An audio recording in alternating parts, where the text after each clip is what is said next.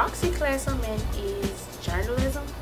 And I like ROXIE because it gives us a chance not to always be like fully in the classroom and learning about numbers and all of that. We could just do what we actually came here to do, which is write or work with music and stuff like that. I like ROXIE because I'm interested in art and I'd like to better myself. My name is Janine Farrell and I teach the broadcast journalism class in the ROXIE program.